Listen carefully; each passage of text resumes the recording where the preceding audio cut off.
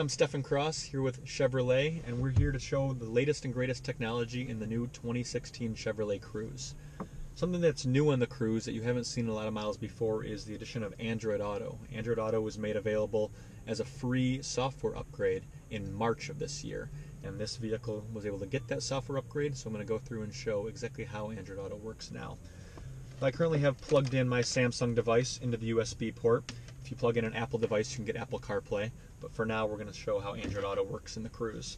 You'll see this icon right here is changed to Android Auto. So I'm going to go ahead and launch that. What's unique about Android Auto, it has a home screen here, and the home screen incorporates a lot of your latest and greatest interactions with your phone. So right now, it knows I'm in Nashville. It's got the current temperature, the highs and lows. It has a couple of recent destinations that I may have searched, or potentially suggested destinations that it wants me to go to.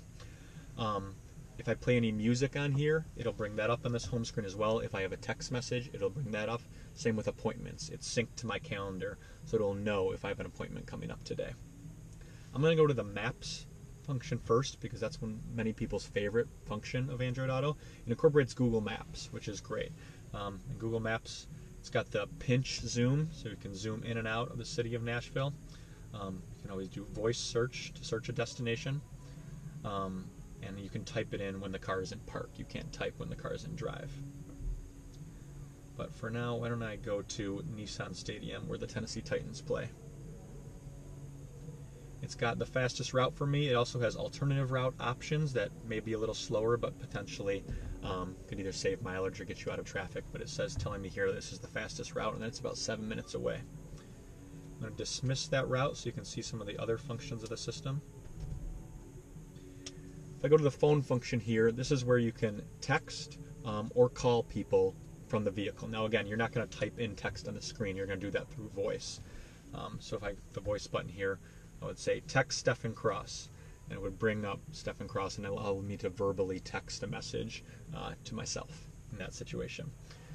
Um, again, if you get a text message, it's going to audibly read the message back to you, so you're not going to see anything on the screen. It's all meant for you to use with your hands on the hands on the wheel, eyes on the road. Uh, and then finally, we have a number of audio apps in here. You'll see Spotify, TuneIn, Stitcher, iHeartRadio. Uh, I believe I have iHeartRadio planned right now, so I'm going to go through and launch that. You know, it looks very customized to the infotainment screen. It's not going to distract you while you're driving. But I'm going to go in here and play AC/DC from iHeartRadio, um, and it should bring up some of the latest options for AC/DC type radio.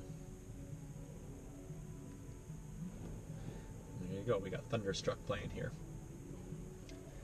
And then so if I go back to the home screen, it's going to incorporate that, okay, you are now going to Nissan Stadium, here's the weather, and you're listening to AC/DC. And if I had a text come through, it would bring that up as well. So that's basically Android Auto in a nutshell. Um, the other thing that I wanted to mention that's unique for the Cruze is with our LT and premium models, you get two years of all the latest and greatest connectivity. So we call it our 24 7 promise package. And what's really great about that is for two years, and this is unrivaled anywhere else in the industry, for two years you get OnStar Guidance Plan, which is OnStar's premium service. So you know, the crash response, the emergency assistance, the navigation, the stolen vehicle assistance, the vehicle health reports. It goes on and on. You get that free for two years. You also get the OnStar 4G LTE data. Um, 4G LTE typically comes standard for three months or three gigabytes in the vehicle. Now you get it for 24 months or 24 gigabytes in the vehicle. So that's a lot of data that you can go through that the kids in the back seat, your passengers, can consume. It also comes with two years of Sirius XM. So again, Sirius typically comes free for three months in Chevy vehicles. Now you're getting it for two years for 24 months in the vehicles. So the Chevy Cruze also incorporates built-in OnStar 4G LTE. Um, what that means is it's a Wi-Fi hotspot built in for passengers, kids in the back seat to connect to. Um, this car is activated the Wi-Fi hotspot, so to get the information uh, for the hotspot, I'm going to go to OnStar right here. OnStar ready.